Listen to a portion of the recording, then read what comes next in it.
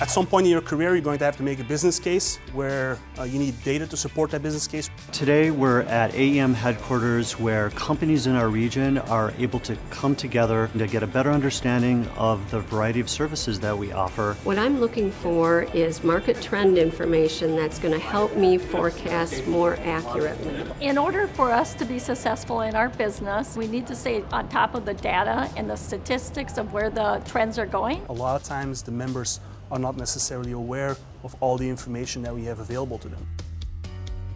Market Intelligence provides a lot of different types of data to our members. It has various surveys where we reach out to our members to get their perceptions on the construction equipment industry as well as the agricultural equipment industry. This is an outstanding opportunity, especially for um, smaller companies, to supplement whatever market information that they're receiving uh, in order to business plan. It is hard for a small company to keep tabs on everything that's happening today in the marketplace. It is challenging, and that's why the more information we can collect, the better.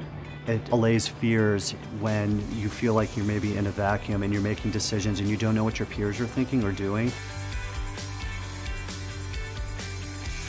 What we've been telling our members as it pertains to our statistics program is that if you can't measure your market share, how are you managing it? It's very important that we understand what industry is thriving and where we can take advantage. By looking the data, by looking the forecasting, we can find, okay, this segment have opportunity for us. It is unique data. This data does not exist anywhere else. It is uh, very accurate, it's very timely, and it's really one of the best values for our members.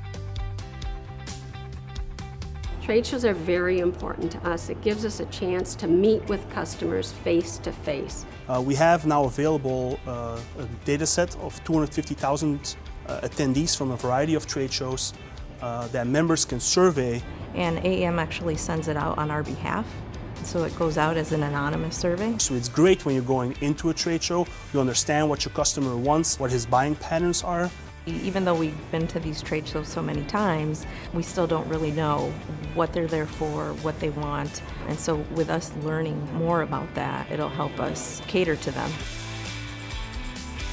Information is power. You can't act on it without measuring it. Market trends are always shifting. So, if you want to succeed not only in the United States, but globally as a company, you need to be on top of what your industry is doing. You don't know what's going on. You're doing business with yourself and you're not growing your business.